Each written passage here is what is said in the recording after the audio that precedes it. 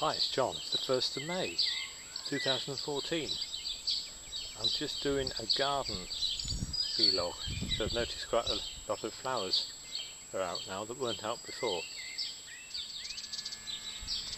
I've just bought myself a new second-hand computer which will run Windows XP and it's got 4 gigabytes of RAM as they say so I'll be able to use Windows Movie Maker now because that wouldn't handle HD footage but I haven't actually downloaded Windows Movie Maker yet but I will do shortly.